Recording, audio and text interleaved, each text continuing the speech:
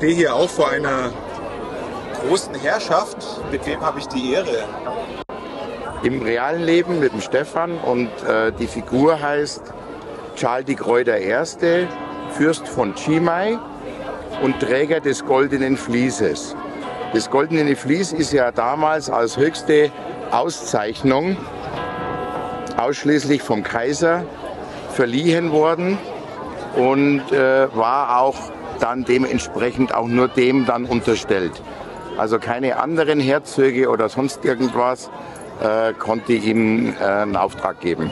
Wie waren die letzten Wochenenden jetzt? Also viel im Einsatz? Die Wochenenden, das ging ja eigentlich schon in der Vorbereitungszeit äh, vor drei, vier Jahren ja los. Äh, und natürlich vor dem Aufbau haben wir ja angefangen am 29. April und äh, bis eigentlich kurz vor Festbeginn.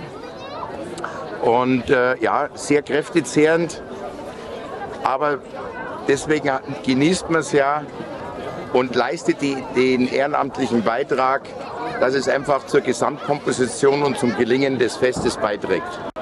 Und etwas Wehmut wahrscheinlich dabei, die Rolle erst wieder zu spielen in drei Jahren? Ja, die Rolle die ist natürlich schon wehmütig, ähm, weil es ja dann doch am, am Ende des Tages doch Spaß gemacht hat. Aber wie es immer ist, jetzt geht's rum, der Bart kommt ab. Das war im Übrigen auch dann ein Vorbild vom, äh, vom Original. Das können wir, zeige ich vielleicht jetzt danach gleich noch. Und dann kehren wir wieder ins reale Leben zurück. Also Authentizität ist wichtig. Das fängt auch sogar mit dem Bart hier an. Wie mit dem Bart, ja. Und fängt mit dem goldenen und hört mit dem goldenen Fließer auf, ja. Genau, richtig. Wow, okay, Respekt. Ich meine, ich muss auch sagen, ich bin ja massiv beeindruckt von eurem Lager Ems hier. Also der öffentlich zugängliche Bereich, aber auch hier das kaiserliche Trabantenzelt. Ja.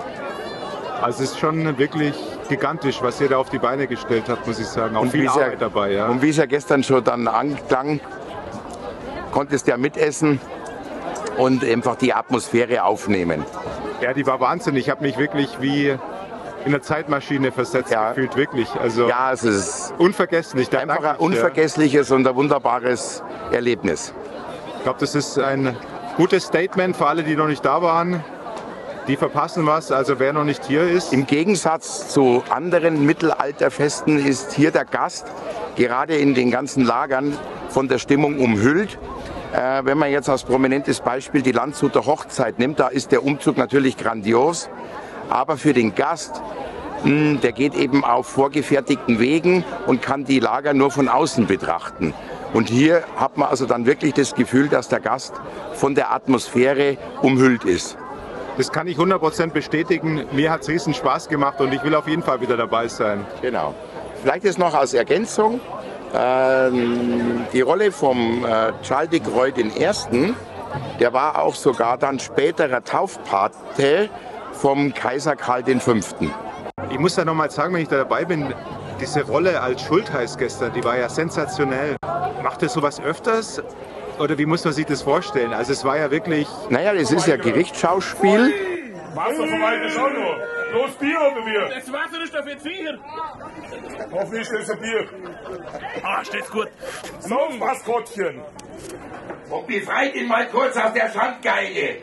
Ich muss mir sein Antlitz persönlich in Augenschein nehmen. Und eben äh, vom Fähnlein Ems ins Leben gerufen. Und nachdem mein Vorgänger ähm, klar aufgrund der Zeit, wo er schon gemacht hat, dann immer begleiten wollte, war also diese Stelle vakant und man hat mich dann befragt, ob ich sie übernehmen äh, würde. Und habe ich gesagt, ja, machen wir, wir machen es ad hoc. Eine gewisse, äh, mh, wie sagt man, Verwandtschaft zu meinem zivilen Beruf in, in der Justiz ähm, ist natürlich da schon sehr hilfreich gewesen. Ja, ich muss sagen, ich war süchtig und ich freue mich schon auf die nächste Verhandlung in der Hoffnung, dass der Schultheiß wieder hier genau. ein äh, entsprechend gerechtes Urteil spricht. In drei Jahren. Ja, da freue ich mich drauf. Danke. Ja. Danke auch. Es war ein schönes Fest, es war ein unfallfreies Fest und es hat Spaß gemacht. Vor allem das Wetter hat mitgespielt.